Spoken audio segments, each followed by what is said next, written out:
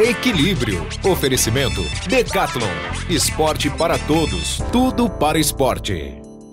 Bom dia! Bora cuidar da saúde, bora ser feliz. E o programa de hoje vai ser tão bacana para motivar você mesmo a mudar às vezes hábitos do dia a dia. Começando por esse exemplo que eu tiro o chapéu desse berlinense de 100 anos de idade ele ainda dá aula de natação, é isso mesmo. Aos 100 anos de idade, o berlinense Leopold Lukushvalek é o professor de natação mais velho do mundo. Desde os 15 anos, Léo trabalha como salva-vidas e também instrutor e não pretende parar. Léo aparece na piscina duas vezes por semana para ajudar e diz se sentir muito bem. Exemplo a ser seguido. Acho que mais que ter uma barriga tanquinho, mais que você ter um belo de um braço, o que vale é isso, é saúde. Vou comentar com vocês, sabe que eu tô chique de camisa? Aí você pensa assim, nossa, mas o Lucas é vai pro casamento, vai fazer exame de fezes, que que é? Não, é da Decathlon essa camisa. É uma camisa para pesca. Ela é de manga comprida, tem proteção solar 50. Além de muito bonita, tem uns furinhos aqui feitos a laser para também você não ficar transpirando e ela seca muito rápido. E algo que eu tava lendo também é que ela é feita de maneira muito consciente. Se gasta pouca água para fazer uma camiseta. Aí você pensa assim, nossa, mas se gasta água para fazer roupa sim e muito. Ou seja, um produto que eu indico, que eu achei super legal e veste super bem. Vou parar de falar para entrar mulher bonita no programa para dar mais audiência aqui.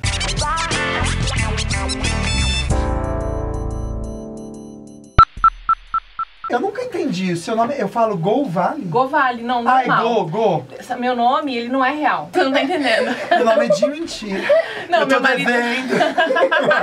Meu marido, quando, quando descobriu, ele tava em casa, ele chegou uma carta lá pra mim, Thalita Gomes Valério dele. Como se eu fosse da Ah, Gomes italiana. Da máfia italiana. Mas é porque assim, quando eu modelava, a gente tinha que escolher um sobrenome. Ah, entendi. E aí eu achava injusto com meu pai e com minha mãe Ah, pegar um dos dois só. Passou e eu modelei uns dois anos em São Paulo, tudo. Aí quando eu comecei a trabalhar com moda, com, com stylist, que era a minha intenção, muita gente do meio já me conhecia, daí não tinha como mudar mais. Estamos entendeu? conversando com Thalita Govali. Vamos ver como ela se apresenta no Quem Sou Eu? Stylish, Sport Addicted, tudo em inglês, né? É. Vegan, Mom, Good Vibes. E tem aqui o site dela pra você conhecer também. Eu acho que tem tudo a ver a estar com um programa aqui. Por quê? Porque ela ama fazer esporte, Aham. ela super se alimenta bem a gente vai conversar sobre isso. E claro que eu tenho que começar falando sobre esporte com você, sobre crossfit, que você realmente é viciada, né? Sou viciada. Você já passou daquele nível de normal pra uma coisa que você Ah, precisa. foi assim, quando eu tava com três meses de treino, eu participei do meu primeiro campeonato, assim, de brincadeira, Ah, com o pessoal do boxe, assim. entendi. E aí eu me apaixonei.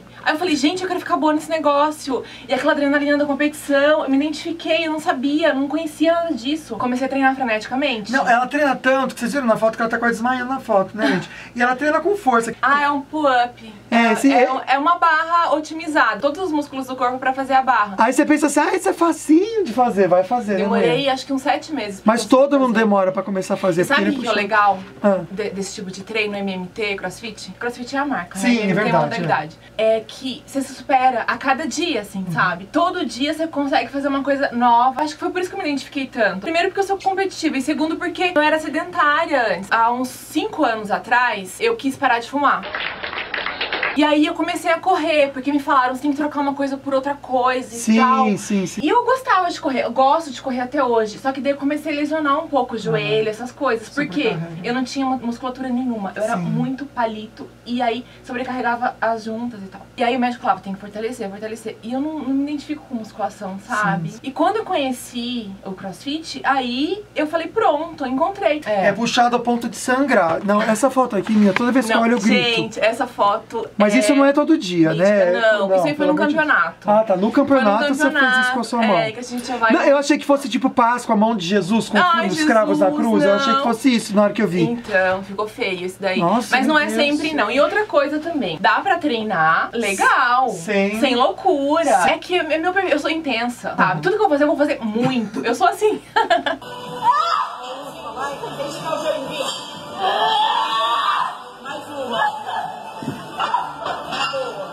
muitas amigas minhas que treinam bonitinho. Tem a mão certinha. Normal. assim. Tem uma mão normal. Deixa eu fazer uma pergunta. Não sei se você sabe da importância da gente estar com os hormônios certinhos pro treino. Sim. Você toma co- anticoncepcional? Não tomo. Olha que bacana e que bom pra você. Porque Ótimo. olha como o anticoncepcional atrapalha até o treino. Não, mudou muito a minha vida depois que eu parei de tomar. É impressionante, porque o, o anticoncepcional elimina mesmo os hormônios femininos, né? Sim, Até a sim. libido, a mulher Sim. fica meio apagadona. Assim.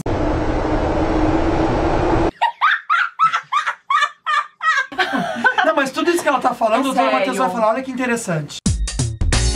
Olá, eu sou o Dr. Matheus e o assunto hoje é muito legal: anticoncepcional e atividade física. Ah, a mulherada agora vai gostar desse assunto, né? Doutor, o anticoncepcional atrapalha, ajuda? O que, que acontece? Bom, para entendimento, o anticoncepcional é uma medicação usada por muitas mulheres para não engravidar. Efeito contraceptivo. Ele junta normalmente uma progesterona e o etinilestradiol, que é uma molécula de um estrogênio. São moléculas aí que não são do seu corpo, mas são muito parecidas. Bom, até aí tudo bem, a gente já conhece um pouquinho dos efeitos colaterais dos anticoncepcionais, né? Todos aí abordados, aí o efeito de cair a libido ou do tromboembolismo, mas hoje a gente não vai falar disso, a gente vai falar qual prejuízo você pode estar tendo fazendo atividade física e usando o anticoncepcional. Há um ponto, eu não sou nem contra nem a favor, o anticoncepcional é uma escolha sua. Converse com o seu médico para ver se você realmente precisa usar. Tecnicamente, a gente vai abordar aqui alguns assuntos. Anticoncepcional e ganho de peso. Você acha que você pode engordar usando anticoncepcional? São estudos. 3 a 4% de ganho de peso em seis meses ou um ano. Você acha que é pouco? Faz essa conta aí em 10 anos usando anticoncepcional. E nas meninas que são atletas, as meninas que fazem crossfit, as meninas que correm, as meninas que malham. O anticoncepcional atrapalha ganhar massa magra? Infelizmente, os estudos mostram que sim, tá? Até 2,5% ao ano. Isso aí dá aproximadamente numa mulher de 70 quilos uns 3 a 3,5 kg de massa magra que você deixa de ganhar em um ano. Bom, outra coisa que eu tenho que falar é se você pode perder força usando anticoncepcional. Ah, isso é importante? É, poxa. Se você tem uma atleta aí de crossfit, que ela precisa lá fazer um levantamento de peso, ou uma corredora que vai precisar de muita explosão, ela vai conseguir fazer isso com uma qualidade inferior. Mas por que acontece isso, doutor Matheus? A testosterona, ó, ela diminui. E assim como outros hormônios contrarregulatórios podem aumentar. E por fim, a capacidade aeróbica. A capacidade aeróbica ainda os estudos são um pouco conflitantes.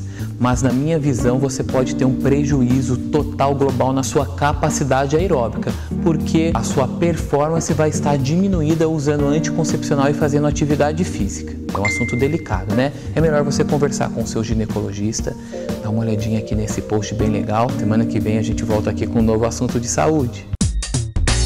Prova viva aqui que E realmente outra, não pode. eu te digo, e eu parei depois de ter começado e eu vi a diferença na prática. Quando ela fala que faz um negócio intenso, é a ponto assim de o cabelo ir pra um lado pro outro.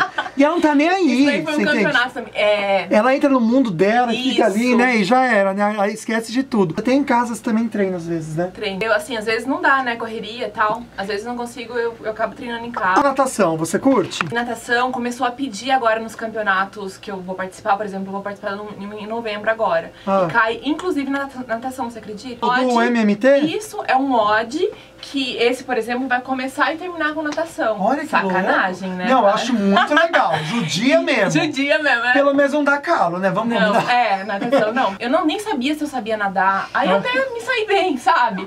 Eu não sabia eu não se eu sabia, sabia. eu não sabia se eu sabia, nunca precisei. Tipo, nunca morri afogada, mas também não sei.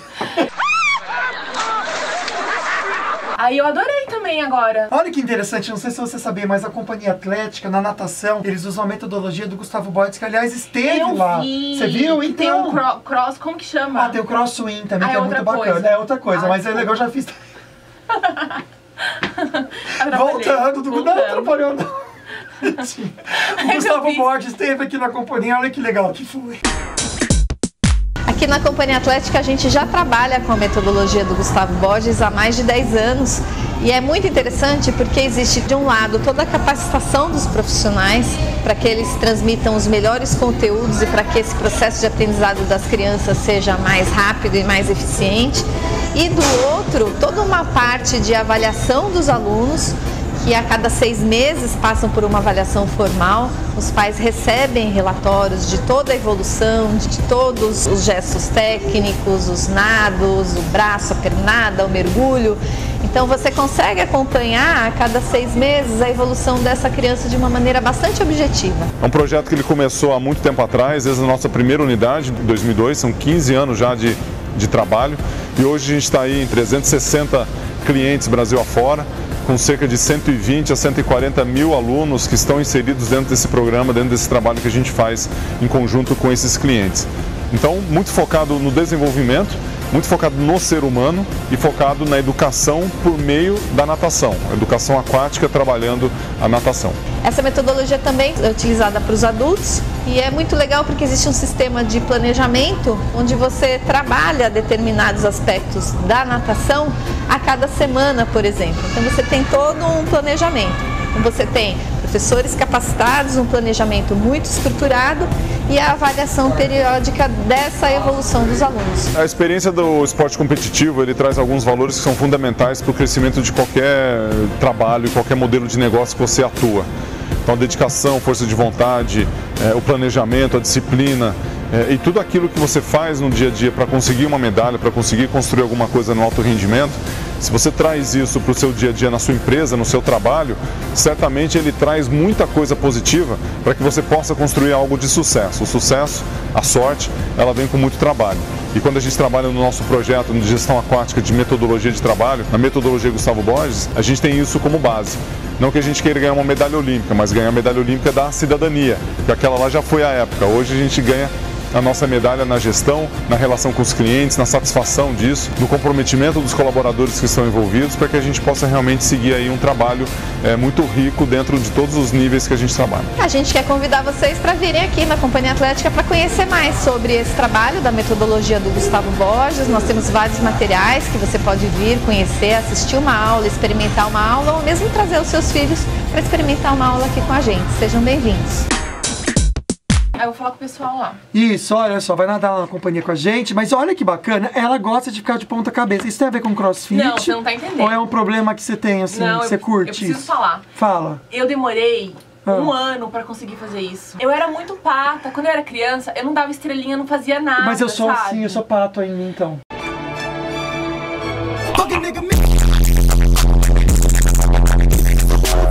E aí, quando eu consegui, Ah. eu achei o máximo. Não, com porque foi certeza. muita superação. Eu também tentava, tentava e não ia, não ia, não ia. Mas é uma coisa E, que você tipo, faz com facilidade Agora agora. eu faço. Você consegue fazer demais. aqui agora, se eu pedir? Ai, não, tenho medo. Você começar agora a brincadeira do Sarahá. Sabe o que é o Sarahá? Não. É aquele aplicativo que as pessoas mandam mensagem pra você em oculto, sem falar o nome, e falam o que quiser pra Ai, você. fala o que quiser, eu vi. O que, que eu fiz? Eu peguei umas tipo. fotos suas e saí mostrando pra todo mundo pra pegar umas Que- frases que falaram. Sério? É, então vamos falar pra vocês e comenta. quero então, ó, a primeira é isso, ó, a louca do crossfit. A louca do crossfit eu sabia!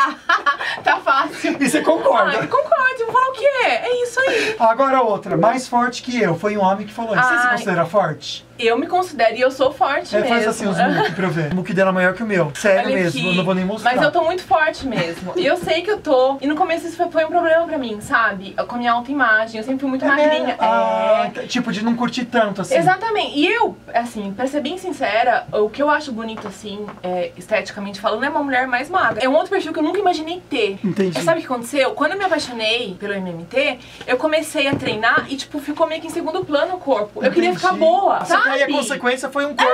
exatamente. trin- Você vê, gente, que, que você tá achando chato, né? tipo, ah, eu vou treinar pra ficar boa, mas de Eu repente a queria barriga ficar trinca. boa, então, eu queria ficar boa, tipo, eu não fiquei pensando como que ia ficar meu corpo, sabe? E eu, ainda- eu acho que eu meio- muito forte mesmo, mas também, ó, se a gente ficar um mês sem treinar, Já era. acabou tudo, então. Pior que é verdade. É verdade. Outra comentário aqui, ó. Empoderada. Você curte esse lance da mulher poderosa? Ai, eu curto e tento passar adiante, tento ser poderosa mesmo. E tá eu passando, acho... que Ai, que bom, você esse vê? Gostei. Agora, isso aqui, ó, a pessoa foi sincera, ela falou assim: linda, mas parece não ser acessível. É, você tem- mas você lembra que eu te falei no começo aqui? Eu sou meio tímida, às vezes Ah. passo por fechada, por chata, e eu sou meio tímida mesmo. Aí acaba a pessoa entendendo que, tipo, não tá afim de. É, mentira. é, ai, que pena, vou tentar. O que, que eu faço? Tipo, Não, faz nada, manda catar coquinho, tá tudo certo, né? Estamos conversando aqui com Thalita Govali, que você pode conhecer, arroba Thalita Govali, uma pessoa que ama fazer MMT, uma pessoa que ama também comer muito bem. Aliás, no próximo bloco a gente vai conversar sobre comida e dieta com com ela que é super legal. Não sai daí. Estamos aqui conversando, vem aqui mais pra você aparecer, mulher. Estamos conversando com Thalita Govali, que você pode conhecer no Instagram. Este é o perfil dela, arroba Thalita Govali. Tem o dia a dia de esporte que ela ama. Tem também sobre alimentação. Você é vegana? Sou vegana. Desde quando? Ó, vegetariana, 17 anos. Aham. Vegana vai fazer 3 em janeiro. Vamos explicar a diferença que eu nunca lembro também. Na verdade, o certo falar é ovo lacto vegetariano, que consome ovos e leite. Você consome ovos e Não leite? consumo. Ah, não. Ah, eu fui, há 17 anos, eu só não comia carne e consumia ovos e leite. Sei. Aí há 3 anos, que vai fazer em janeiro, eu parei com todos os derivados do animal. E foi muito Nem difícil mel. essa mudança não? Vegetariano, não. É, vegano já foi. É puxado mesmo, É, né? Eu tô com um prato aqui, o por difícil é exemplo. comer na rua, sabe? Ah, pra falar é, bem a filho, verdade. esquece disso, né? Ah, mas agora até que tá tendo. Por exemplo, aqui você vê que tem o grão de bico com uma saladinha De quinoa. que é a quinoa, que é uma delícia Que e é faz super delícia. bem, né? A gente sempre E comenta super aqui. proteico. E aí você vai pegando as proteínas também que tem nos grãos, perdão. Basicamente, grãos e castanhas. São Ah, pratos lindos. Você que faz ou você vai em um lugar isso aqui? Então, esse, por exemplo, é meu marido. Meu marido é muito Olha! gourmet, muito chefe. Eu tive a sorte de ter um Que marido legal. Só não vou mostrar a foto dele pra não fazer propaganda dessa mulherada cá Por em cima. favor. Tira os olhos do meu boy. Antes, no começo, só eu que cozinhava quando a gente casou. E aí ele começou a cozinhar e amar, tomou conta da cozinha. Eu falei, maravilha, comida Hum. maravilhosa. E aí ele inventa, ele, ele tem os, li- os livros de receita dele, mas ele inventa muita coisa. Você cozinha ou não? Então, hoje em dia é muito difícil, assim. Por causa de tempo, né? Porque você não curte. Não, eu, eu assim, pra ser bem sincera, não, eu gosto de cozinhar, mas agora o Roger faz melhor que eu. Ai, você eu, já deixa. É, Eu sabe? também acho que tem que ser assim, né? Faz melhor, já era. E você curte também algumas coisas, tipo assim, um suquinho verde. Ah, com Você é super certeza. das natureba, então. Eu sou, eu adoro ser assim. Sabe por quê? Olha só que legal também. Eu percebi na prática que quando eu como melhor, eu rendo melhor no treino. Você não sente fraca, por exemplo. Não, pelo contrário, pelo contrário. tá? Eu não como pouco. Eu como bastante. Uhum. Entendi. E alimentos, assim, ricos Entendi. em nutrientes. Eu rendo melhor, é, é, sei lá, meu sono melhor, minha vida é melhor. Antes, mesmo sendo vegetariana, eu não me alimentava bem. Porque dá pra ser Sim. vegetariano super junkie. É Tipo, verdade. é, tem gente que acha que ser vegetariano é sinônimo de comer bem. Não, Não. não, é. Muito pelo contrário. Uhum. Você parar de comer carne e comer só carboidrato. Mas, assim, com uma dieta balanceada, nossa, a gente rende muito mais em tudo. Você faz de vez em quando alguma De limpezinha? vez em quando, olha, eu vou ser bem sincera, eu faço menos do que eu deveria, eu acho, com meus 33 anos. Não é essa aqui que é, porque Mas- você tem a pele boa. Se tivesse a pele ruim, você fazer, entendeu? É bem isso, né? Será? Quando a gente tem a Ah. pele ruim, a gente faz toda semana. Quando não, tem, a gente mas a minha mãe fala que tem que cuidar agora, que não É, tá senão ruim ainda. Ela depois- sempre falou isso pra mim. Nossa, tá Ó, ótimo. desde que eu tinha Tá idade da. Giovana, de ficar passando protetor solar, sabe? Então, isso é uma coisa que eu sempre fiz. Ah, então faz Porque diferença. faz. Porque minha mãe Faz diferença. falava, é mais fácil prevenir do que remediar. E eu fui meio que nessa mentalidade. Vamos conversar com a doutora Nathalie sobre dicas pra gente cuidar bem do rosto, do corpo? Olá pessoal, tudo bem? Hoje nós vamos conversar um pouco sobre olheiras. Quem nunca se sentiu incomodado com esse escurecimento aqui logo abaixo dos olhos, não é? Então você sabia que existem várias opções de tratamentos estéticos para esse caso? E o que eu escolhi para conversar com vocês hoje é a carboxiterapia para olheiras. Você já ouviu falar? A carboxiterapia é um tratamento estético que combate a olheiras e ele é realizado através da aplicação de um gás carbônico medicinal, com a ajuda de uma agulha muito fininha sob a pele para melhorar a circulação sanguínea na região, estimular a produção de colágeno e consequentemente melhorar a flacidez da pele. Uma coisa consultório é se carboxiterapia dói, porque dá uma aflição, né? Uma agulha tão pertinho do olho, mas não se preocupe, carboxiterapia não dói. Nessa região dos olhos é comum sentir um leve desconforto e você vai sentir uma sensação de pressão na realidade. Quando o gás for insuflando os olhos, você pode sentir esse ligeiro desconforto, mas é um tratamento super rápido, leva em média 10 minutos e vale muito a pena pelo resultado. A vantagem desse tratamento é que o gás carbônico medicinal ele não causa alergias. Na verdade, o gás carbônico ele é um produto do nosso próprio metabolismo. Quando a gente inspira oxigênio, a gente expira gás carbônico. Então ninguém é alérgico a essa substância. Por isso esse tratamento apresenta pouquíssimos efeitos colaterais e contraindicações. Na verdade, um bom profissional vai saber te orientar nesse caso também. Normalmente são indicadas pelo menos 5 sessões com intervalo semanal ou até mesmo quinzenal, dependendo da coloração das olheiras.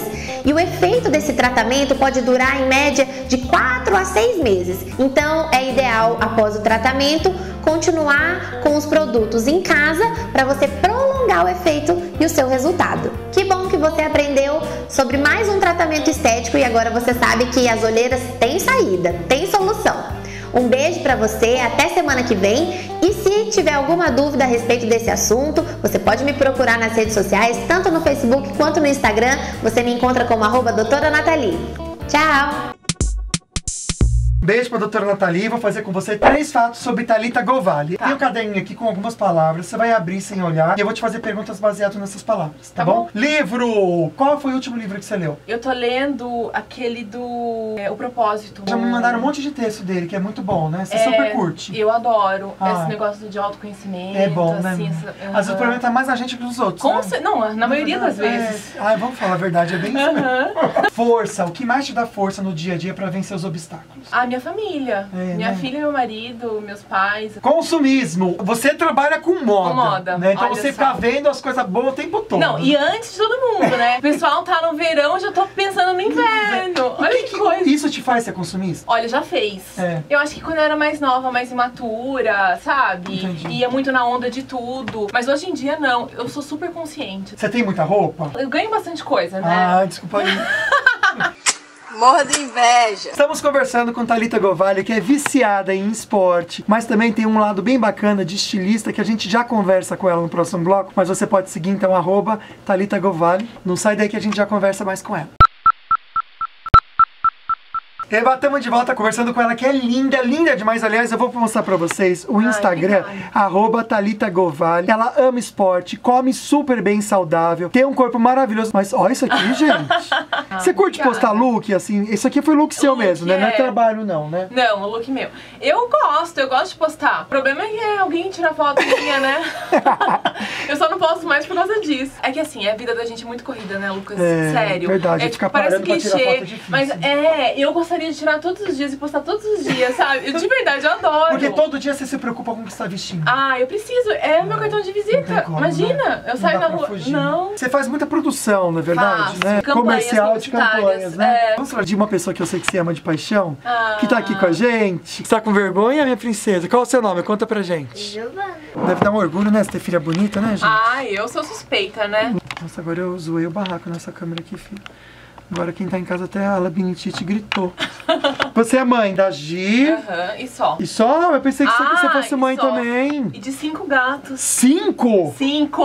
Meu Deus do céu! Todos da rua. Aquela que foi avotando todo mundo na rua. A louca dos gatos. É, é, esqueceram de falar também, a louca, a louca do caspio e a louca dos gatos.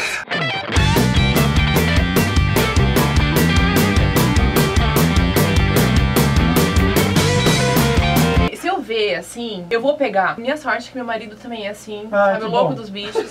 E assim, e aí a gente pega, cuida e doa, sabe? Sei. A gente fez isso com muitos animais. Só que alguns acabam ficando. Mas e aí é agora eu tô com demais, né? cinco. Bora cuidar do nosso sorriso, já a gente tá falando de paixões com o Dr. Otávio. Olá, Lucas, tudo bem com você? Tem uma pergunta aqui da Silva Carvalho.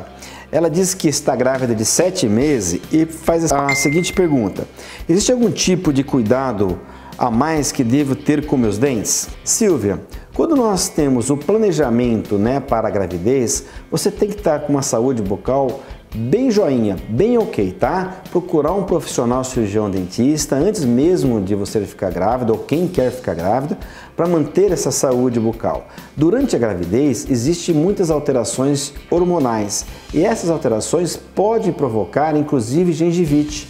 Então é muito importante você ter uma boa saúde bucal.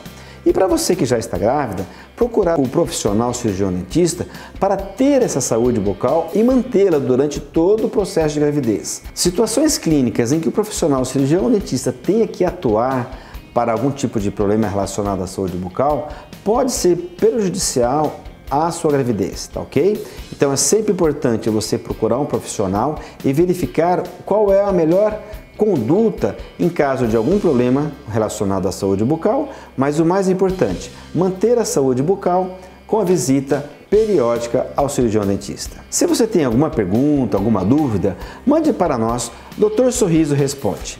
E mantenha sempre a sua saúde em equilíbrio. ortovip.com.br. Vamos brincar de já sim, já não. Você vai levantar a plaquinha do sim e do não Tá. quando você for responder a perguntinha. Eu vou participar só pra você não ficar sem graça, tá? Tá. Mas vale é a sua resposta. Já achou que fosse morrer treinando? Não. Não, tipo, treinando que nem uma louca deitada ali, que nem você tá? Não, não, mas eu, assim, achar que vai morrer mesmo, de verdade, não. Você nunca passou Literalmente, não. Li- Agora, assim, no sentido figurado, todos os dias. Não, deixa eu mostrar. deixa eu mostrar. Só pra você ver como a pessoa não tem limite. Ela acha que é normal você ficar assim no chão, ó. Não, você não sabe, eu passei uma vergonha. Eu fiz uma cirurgia recentemente e aí eu fiquei um tempo sem treinar o MMT. É. Aí eu fui pra academia. Aí eu comecei a fazer aquele step. Escada. Ah, sabe? Aquele Eu- um aparelho. Ai, como que é o nome dessa escada? Tem- Você já fez? Já fiz, é super pelo amor de Deus. não é? Você faz, você quer morrer. Não, você, é, é muito Dá pesado. 10 minutos, você quer Não, sai chorando. aí eu coloquei, tipo, num nível super alto, bem pesado, assim, rapidinho, e fiz, tipo, 30 minutos. Você não tá entendendo? A hora que eu saí daquele negócio, eu fiquei procurando um lugar pra me deitar. Eu falei, gente, aqui não dá pra deitar. Vão achar que eu tô louca. Ela queria deitar na academia. Na academia, Porque é cansadinho. Muito comum pra quem faz MMT ou crossfit. Termina e pff, se desmonta, joga. Porque a pessoa tá Se morrendo joga, mesmo, porque tá entendeu? exausto. E aí eu falei, eu falei, meu Deus, eu não posso, aqui não posso. Você já matou treino pra ficar em casa vendo filme? Eu nunca fiz isso, você acredita? Olha, gente. Gente, você tem problemas, tá? Só queria Eu tenho, eu nunca fiz isso, nunca. Tadinho, eu tô brincando. Você, Não, mas- você leva muito a sério. Eu encontrei no esporte, seja qual for, minha válvula de escape. Ah, que bom. Sabe um negócio que, tipo, sei lá, o pessoal vai tomar uma cerveja pra Sim, extravasar, pra sim, relaxar? sim. Você Eu não. treino pra relaxar. Ah, que bom, isso tá certo. você já ficou horas escolhendo uma roupa, não saber qual vestir na hora de sair de casa? Nossa, todos os dias da minha vida. Não chega uma hora que você fala Todos os assim, dias. vou pelada, não quero nem por roupa, Você não não tá vontade? entendendo. É? Eu detesto isso. E ainda mais agora que meu corpo tá diferente, ficou mais difícil, porque antes era um pau, aí qualquer coisa que, que entrava, ficava. Né? Aí, enfim, Às vezes marca todos os muito. dias. Você já fugiu de casa quando era criança? Ah, claro. É, e como é que você, fugiu e já voltou meia hora depois? Não, Ou meia hora, meia hora. eu, tipo, Não, e pior é que essa meia hora não passa, né? Você quer que passe o tempo pros seus pais ficarem preocupados, mas eu fico olhando, e não passa, eu quero voltar logo, e tipo. É muito isso, né? É? É muito isso, é verdade. Você já olhou alguma foto antiga e falou assim, pelo amor de Deus. Que que eu fiz? É cabelo, é corpo, é tudo, né, Tudo, menina? tudo. Não é e, demais? ai, não sei, a gente muda muito. Eu mudo muito. Graças muda. a Deus! Graças, a Deus. a Deus. Então, conversando com ela, eu sabia que ia ser assim, um programa que ela é muito alto astral. Arroba Thalita Govali. Tem o dia a dia dela de atividade física intensa, alimentação super saudável. Claro que eu vou deixar você embora sem fazer o desafio da caveira. Nossa, gente. É o seguinte, você já come super bem, então eu acho que na verdade eu vou fazer só por protocolo. 30 dias sem fritura. Difícil. Ah, você come fritura às vezes ou não? Como? Assim, não é sempre. Comum, mas então um mês sem. Sério? Isso, pra você e pro teu marido. Vamos já botar Tá o castigo bom. pros dois. Ó, gente do céu. A filha tá livre, tá, Gi? Você pode ficar à vontade, pode comer. Obrigado, Ótimo. amor. Dá um beijo aqui. Obrigada Você é uma a você. simpatia de Eu pessoa, amei. né? Não é linda demais? Mas é muito rápido, É quero mais. rápido. Fala, pô, o chefe passou aqui agora, pede pra ele aumentar. Mas linda demais, não é? Peguem o exemplo de Thalita pra gente viver uma vida saudável, comer bem, fazer atividade física e ser feliz, que eu acho que é o mais importante, né? Muito, com certeza. Beijo pra vocês, excelente sábado, a gente volta semana que vem. Fazer umas fotinhas? Vamos, vamos. Equilíbrio. Oferecimento Decathlon. Esporte para todos. Tudo para esporte.